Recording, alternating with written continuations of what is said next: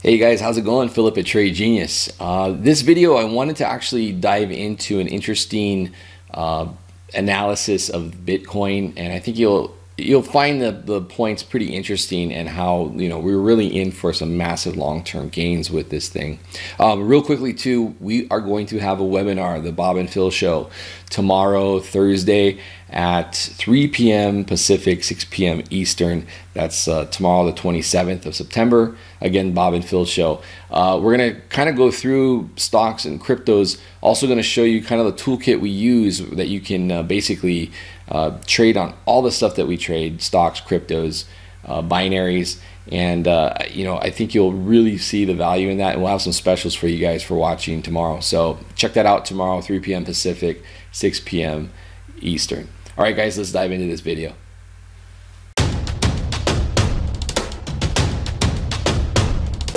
Trade Genius. All right, guys. So um, there's a company, Chainalysis, uh, and I'll I'll put a link uh, to the to the to the website. Uh, but they have a blog, and it's really interesting reads on. They kind of give periodic updates as to like kind of the state of who's who's holding Bitcoin. Is it speculative? Is it is it in wallets? Um, is it lost? Has it moved? That kind of stuff. But uh, you know, it's interesting the information that comes out from them.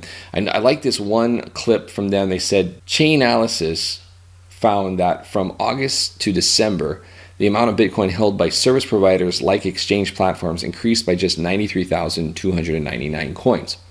When viewed in light of the roughly 1 million Bitcoin added to personal wallets over the same period, this implies the number of people using self custodian solutions, so their own wallets, hardware wallets, they're holding not that much coin, um, is increasing at a faster rate than that of mere speculators. So, here you have a period of that time where 1 million coins uh, were added to personal wallets versus just 93,000 added to the exchanges. So that's a huge number uh, that we're talking about that isn't being uh, really speculated, it's being held.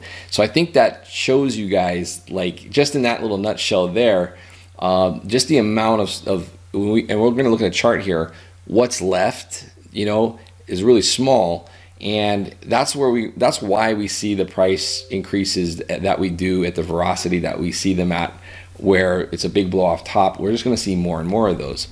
Um, we can switch over to the website. This is blog.chainalysis.com so they kind of go into how they break things down. So i do definitely recommend it blog.chainalysis.com and notice this chart here. Uh, basically what it is is if you look at these bluish sections, what that is is so these are investment coins.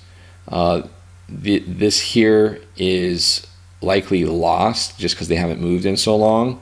And then this section here is lost and unmined coins left. And then you have the stuff that they can tell has been either speculation, like on exchanges, or service uh, transactional coins and things of that nature that are tied to like transaction fees and stuff like that. But I mean, that's, you know, if you look at what are the investment coins, that's 30%. You have 7% that are lost, that's 37%. But the, the minority here is what's actually like being speculative. So there's a big chunk here. This 29%, again, is either lost or unmined coins. So again, when we start seeing demand, then you've got you know a small, you know, the minority outstanding here. Uh, things can get can increase in price quickly. So you just have to keep in mind that it's you know Bitcoin has this unique supply and demand, and again, when things you know get bullish, uh, you know that thing gets tilted really fast.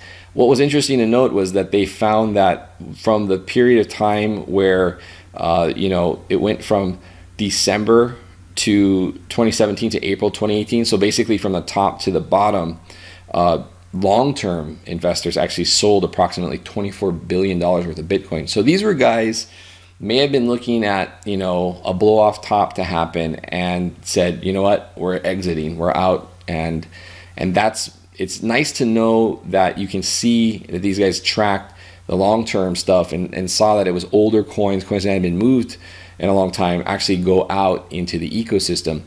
this eventually is just bullish because now what you're doing is you're spreading the amount of Bitcoin out as opposed to being concentrated. You know, it's not going to be healthy to have a large concentration in a small amount of wallets.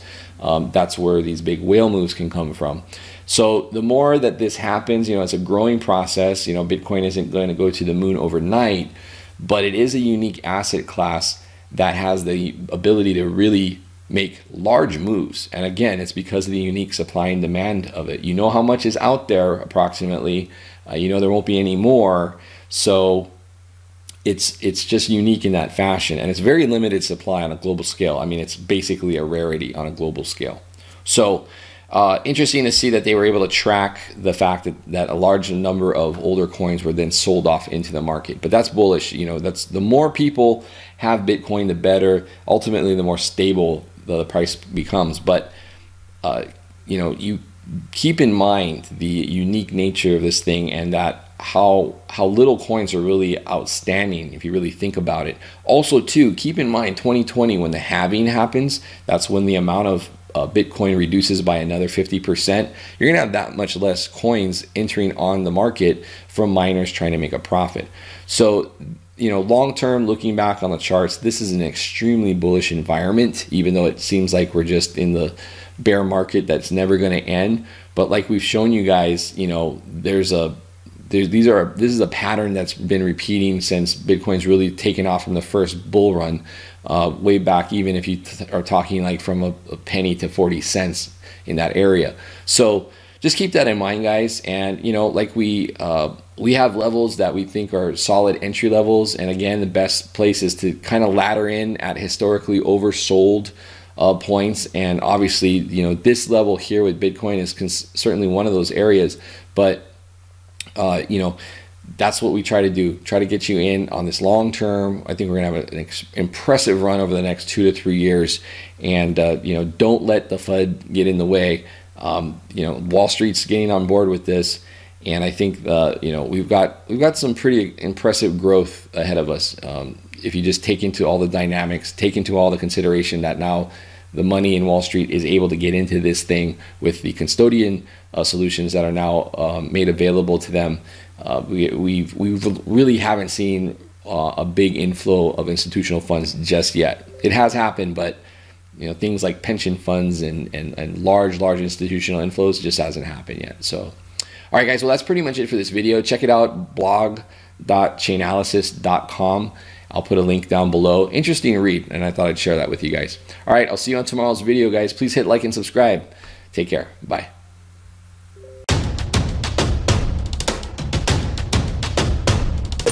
Trade Genius